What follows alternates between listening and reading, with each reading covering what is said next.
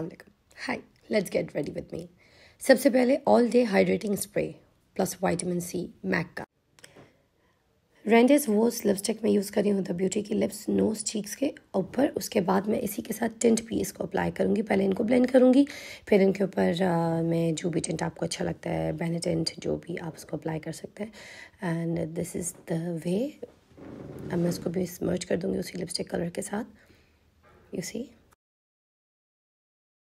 उसके बाद soft and gentle मेरे पास ये हाइलाइटर है skin finish I am gonna apply this on top क्या ग्लो आ रही देखें।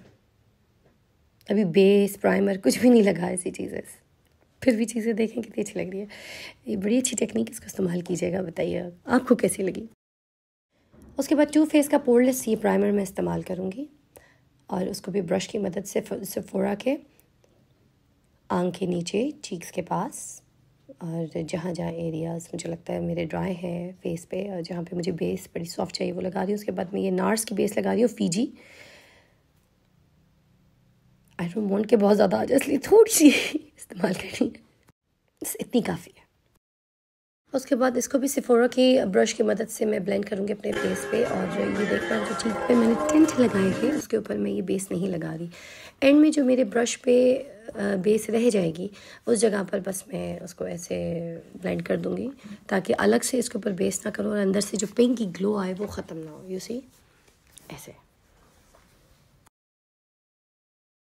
उसके बाद में बेस है ये नार्स की तो मैं इसको जो है एज़ कंट्रोल यूज़ करूँगी। इसका मैं आपको नंबर बता दूँगी। बेसिकली कंसीलर है डार्क स्किन टोन के लिए बट मैं इसको एज कंटोर इस्तेमाल करती हूँ। मुझे बहुत शार्प हार्ड कंटोरिंग नहीं चाहिए, इसलिए मैं ये वाली कंटोर शेड यूज़ करती हूँ। बहुत अच्छी है ब्लेंडेबल है और स्किन के अंदर ऐसे टेक्सचर मिक्स हो जाती है कि पता भी नहीं चलता कि आपने कोई इतनी शार्प हार्श हार्ड कंट्रोल किया हुआ है फेस पे।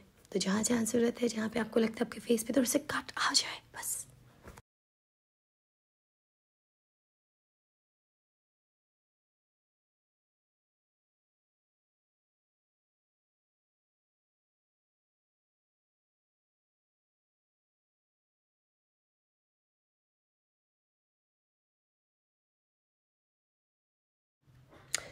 उसके बाद दोबारा से जहाँ पर मुझे लगता है मुझे हाइलाइटिंग चाहिए, वो मैं उन एरियाज़ पे फेस पे अपने हाइलाइटिंग करूँगी। अब ये मेरा मैक का फेस पाउडर है।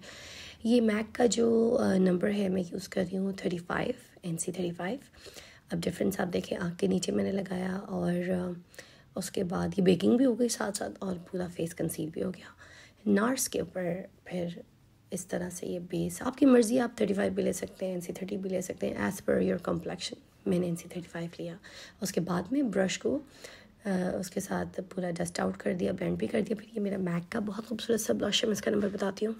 इसका नाम है स्वीट इनफ ना तो ये बहुत चीखता हुआ पिंक है ना ऑरेंज ना पीच बहुत प्यारा कलर बड़ा नेचुरल लगता था। तैयार होने के बाद थोड़ी देर बाद इसकी और ग्लो निकल आती है स्किन के अंदर से। पता नहीं लोग ये वाला ब्लशन क्यों नहीं तरह यूज़ करते। फिर ये डियोर का हाइलाइटर इसका जो पिंक शेड है उसको मैं आँख के ऊपर यूज़ कर रही हूँ एज आई शेडो और ये किट भी मेरी बहुत फेवरेट है। इसमें पिंक के सारे शेड्स बहुत नंबर वन है। नॉट ही इनफ हुदा ब्यूटी का पैलेट और ये शेड नंबर्स देख लें आप, जिस तरह से मैं यूज़ कर रही हूँ। आपके लिए भी इजी एप्लीकेशन करना। मैं भी इसके सॉकेट्स बहुत ब्लेंड कर रही हूँ सॉफ्टली एंड्स के नहीं, बल्कि पूरे, जो मैंने हाईलाइटिंग की थी उसके बाद। उसी तरह से को आँख के नीचे भी लगा रही हूँ। और ये ग्लिटरी सा जो पिंक शेड है, ये आँख के ऊपर थोड़ा सा मैं इसको इन्हांस करने के लिए जो मैंने आँख के ऊपर के एरिया को जो मैंने शिमर दे के छोड़ दिया था, उसके ऊपर मैंने कलर दिया। अब ये dark brown light brown मैनिश brown इन तीनों को ब्लेंड करते हुए आँख के नीचे मैं तेज़ी से लेकर जाऊँगी और ये खूबसूरती से आँख के नीचे ये लाइन लगा उसके बाद इसके डार्क शेड से देख लें मैं कैसे लाइनर एक आई शेडो के नीचे लैश के ऊपर हल्का सा लाइन लगा के उसको ब्लेंड कर रही हूँ।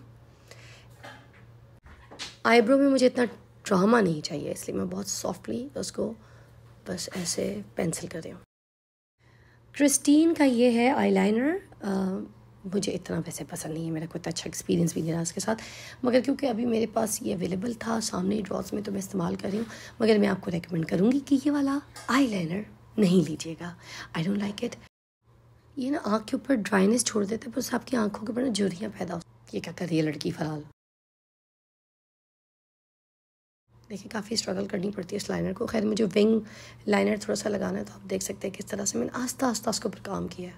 ओ ला, लड़की कॉपी करती है मुझे। इसने अलग अपने तमाशे बनाए हुए जो मैं करती हूँ, वही करती है। और ऐसा मौका बनाया था मैंने? खैर, ये मेरी स्पाइस लिप पेंसिल सबको पता है मैक की वन ऑफ़ माई फेवरेट वही लगा रही हूँ।